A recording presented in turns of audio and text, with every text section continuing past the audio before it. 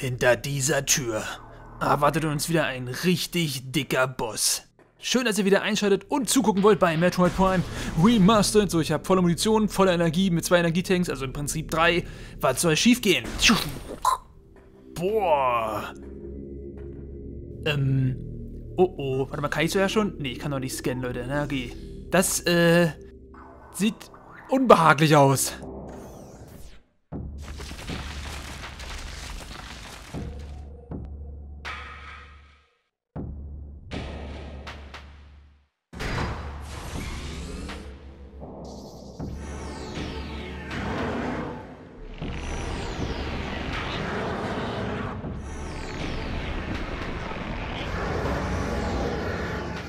Alter, haben die den cool gemacht, ey.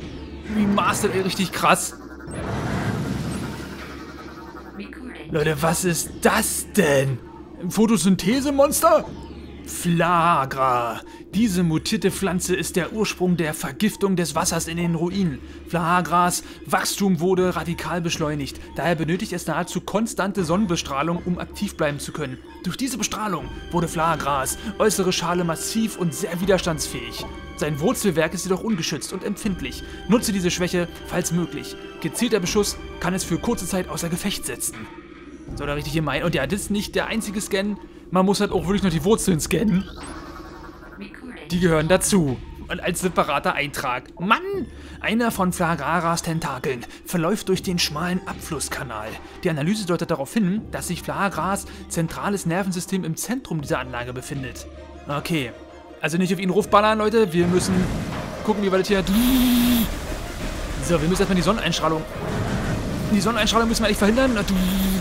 So, ich kann ihn so, wenn ich Bock habe, halt betäuben ne, um mich dann hierauf zu konzentrieren, auf diese Spiegel. Guck mal hier, Leute. Boah, Reflektor zum Umlenken von Sonnenlicht auf die Kreatur. Eventuell kann er außer Betrieb genommen werden. Genau, und da der so ein Kit-Mechanismus ist, müssen wir einfach von der anderen Seite mit genug Kraft gegenballern.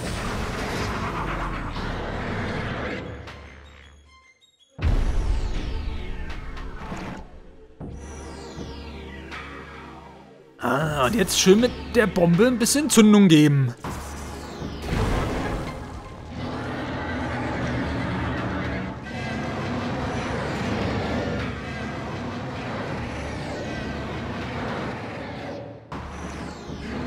Ah, das war's leider noch nicht.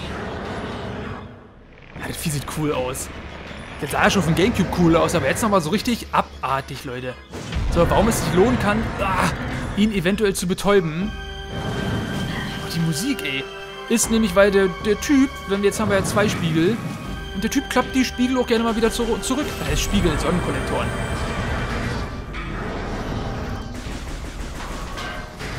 Voll gemein. Einfach wieder umgeklippt. So, okay, warte mal. Bum, bum, bum. So, ich will, dass der mal wieder betäubt ist hier so ein bisschen. So, okay. Vielleicht ein bisschen schneller. Ey, das hat sie auch gegenüber liegen. Richtig gemein. Oh nein, er ist wieder wach, Leute. Er ist wach. Verdammt, verdammt, verdammt. Schnell.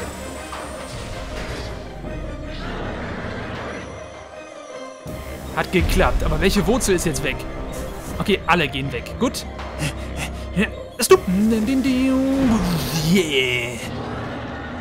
Burn.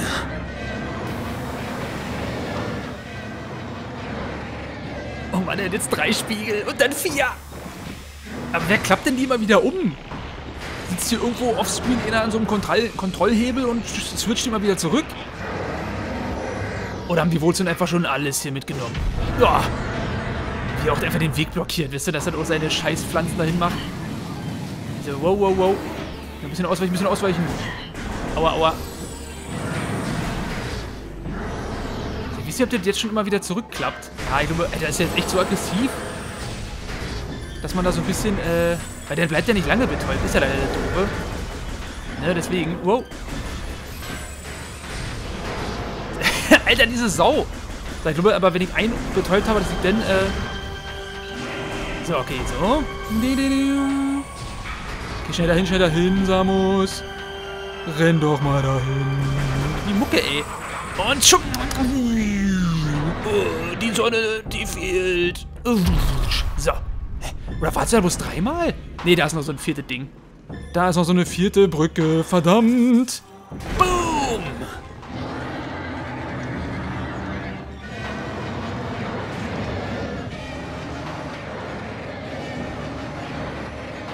Zerburnt. Aber jetzt nochmal die volle Sonnenstrahlung. Jetzt weiß ich gar nicht, wie ich das schaffe, ey, so schnell. Immer so ein bisschen, ein bisschen mit Cheaten, so ein bisschen mal vorab betäuben. Wow! Und du mit Vieh, ey. Gibt ja leider keinen Rennknopf. Mann, die olle Sau, ey. So. Na, na, na. Boah, das ist aber, ist aber auch richtig wild, das immer wieder umzuklappen hier, wa? Kann das sein, Alter? So, okay, jetzt ist er betäubt. Ach. Aber halt nicht für lange. Vielleicht kann ich zwischendurch mal wieder, ich muss ja einfach mal Raketen ballern oder so. Klunk. So, immer wichtig, immer richtig schön mit voll aufgeladenem Charge Beam. Oh nein. Yeah! Okay, er hat's nicht gecheckt. Und das war's mit dem, mit dem Unkrautmonster. So, darf ich mal durch? Dankeschön. Und sagt Tschüss.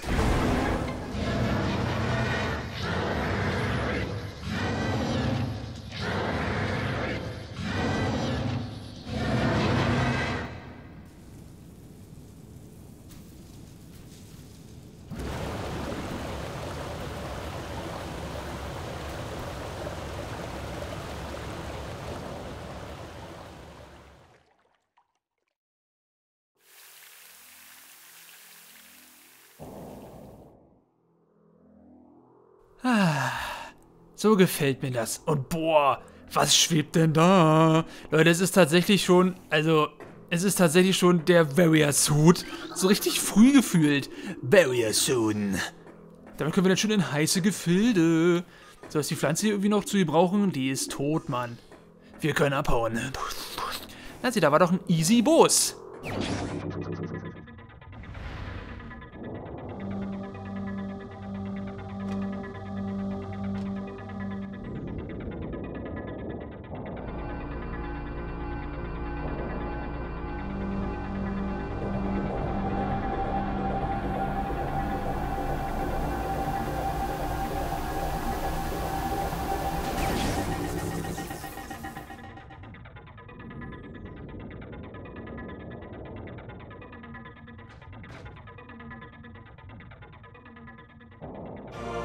Alter, was für ein Optical Upgrade. Warrior Suit erhalten.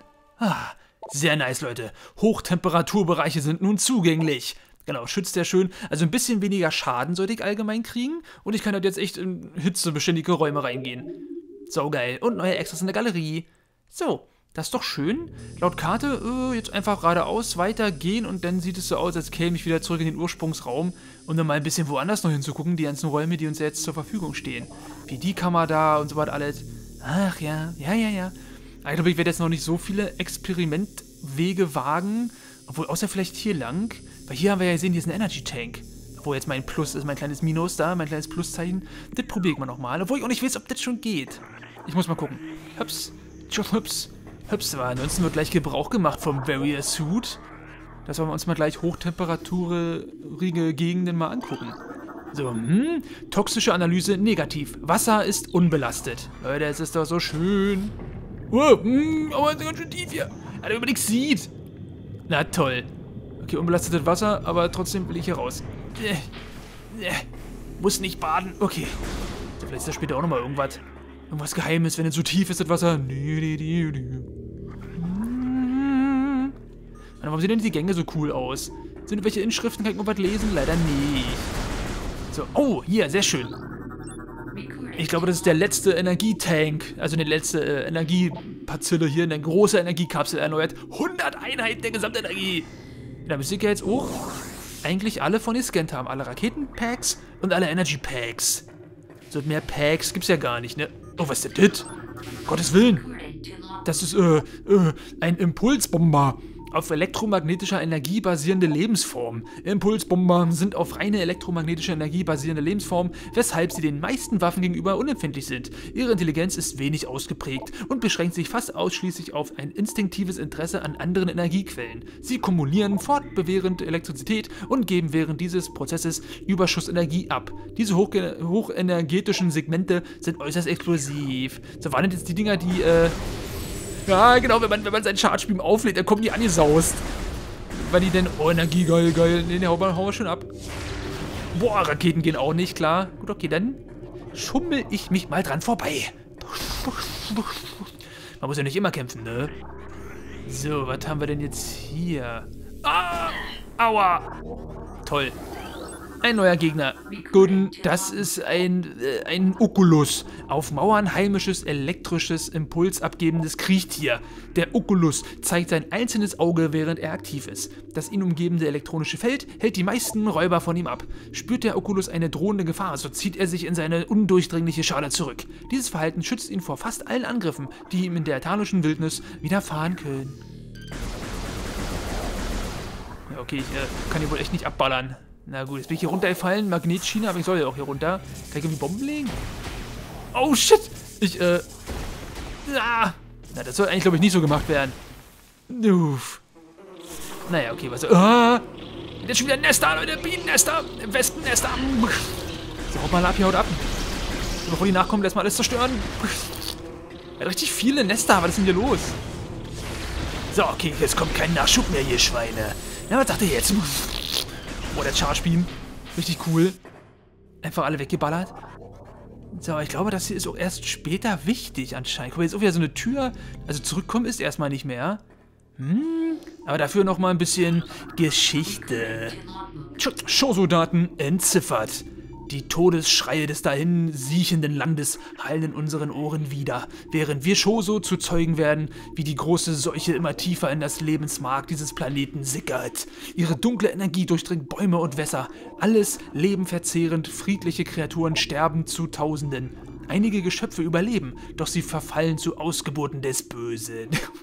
Sie sind die Früchte jener Macht, welche vom Himmel stürzte. Die meisten dieser entstellten Mutationen bleiben zu klein, um gefährlich zu werden. Manche jedoch wachsen zu bedrohlicher Größe heran und gefährden unsere gesamte Existenz. Eine dieser Bestien entweiht unseren heiligen Quell. Gift sprudelt aus ihrer verderbten Form. Die reinen Wässer von einst sind nun zu Kassaden eines schleichenden Todes geworden. Wir blicken in, einen, in, wir blicken in eine Fratze des Bösen. Alter Leute, geil! Erstmal sei da sie die Eianspielung geil. Dennoch erschaudern wir Chose nicht in Furcht. Wir Chose sind alles, was der großen Seuche nun noch entgegensteht. Und es ist unsere Pflicht, sie zu bannen und einzuschließen. Diese Fratzen des Bösen.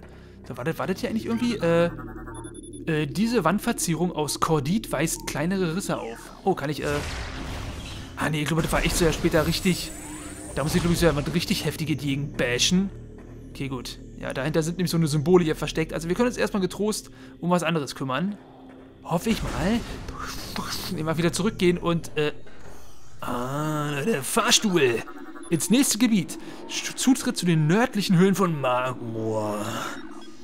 Leute, da will ich gerne hin. Aber ich gucke nochmal ein schnelles Blick, doch neugierig, ob ich, wenn ich hier lang gehe, zu dem Energy Tank da komme. So, hier ist einfach nur, äh, äh, hier waren wir ja schon mal. Das ist dann bloß wieder eine Abkürzung. Oh ja. Hier will ich jetzt aber wirklich runterfallen. Wenn ich den Raum hier richtig interpretiere, sieht es so aus, als wäre da halt eine, eine, eine, Schiene möglich, um wieder nötig, um hochzukommen. Ich guck mal ganz vorsichtig.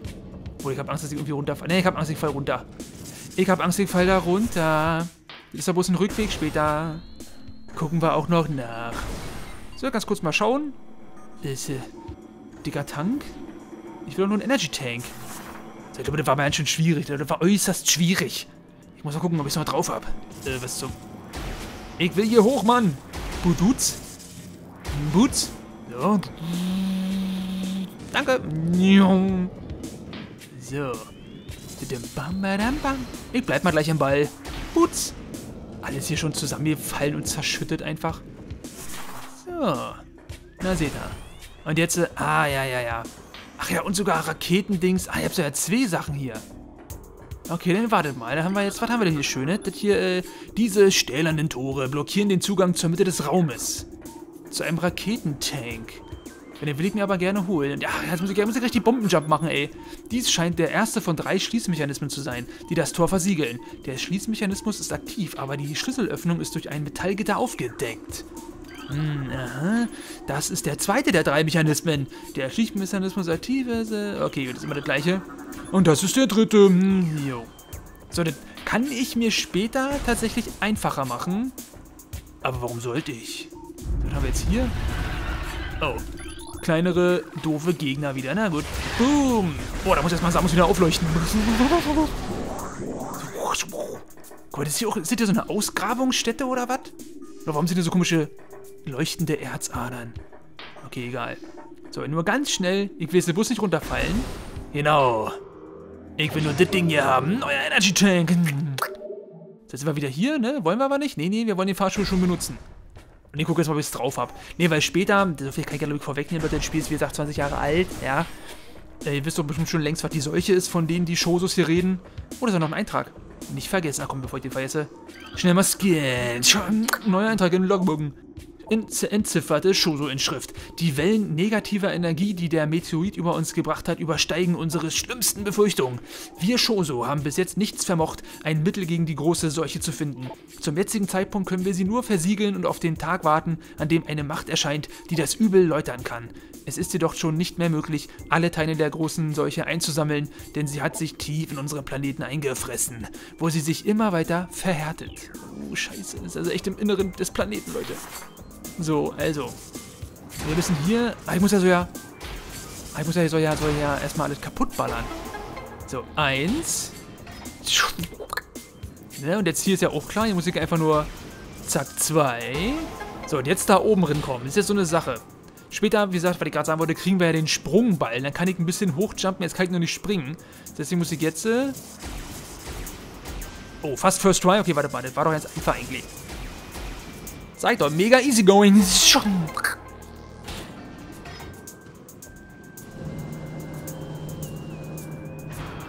Nehmen wir den schönen Raketencontainer auch noch gleich mit. Ich weiß aber noch, dass ich damals früher ein bisschen mehr Probleme damit hatte, mit so einem Bombensprung. Also man kann das natürlich noch mega krass erweitern, um noch höher zu springen. Das ist, glaube ich, zum Glück nicht gefragt jetzt weiterhin mehr. Das wäre jetzt so die einzige Stelle, die mir in den Sinn kam.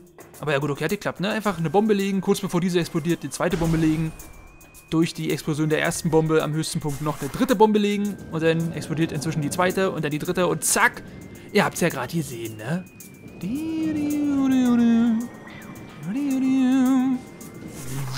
Jetzt aber runter, Leute, in die Magmahöhlen. Mir wird es nämlich langsam zu kalt hier. So. Mann, die coole Fahrstuhlmusik.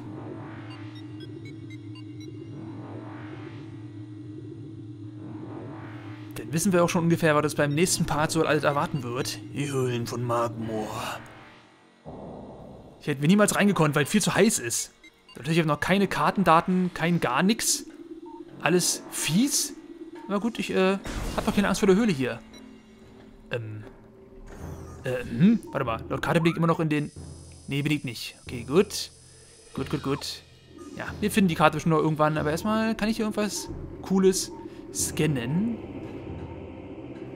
Oh, die Musik ist, die Musik geht richtig ab, Leute.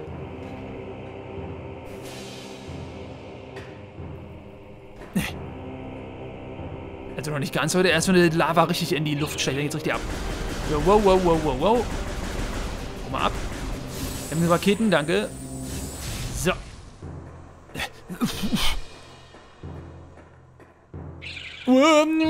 So, Leute, ich glaube aber, das, äh, ja. Soll es erstmal hier gewesen sein. Es passt wieder ideal zum Abspeichern. Ey, wie auch jeder Speicherraum irgendwie so geil anders aussieht. Davon mit der fetten Lava und alles, die hier lang gepumpt wird im Erdkern oder wofür, wofür war das gut, Leute? Wo, was soll denn der Quatsch? Ah, egal. Das war ein cooler Part wieder. Schöne Entgiftung der Shoso-Ruin eingeleitet. Da kann man mit Recht stolz drauf sein. Ja, ich bin wieder stolz, dass ihr eingestellt habt und bin umso stolzer, wenn ihr beim nächsten Mal auch wieder dabei seid bei Metroid Prime Remastered, Leute. Dankeschön fürs Interesse und bis zum nächsten Part. Ciao, ciao!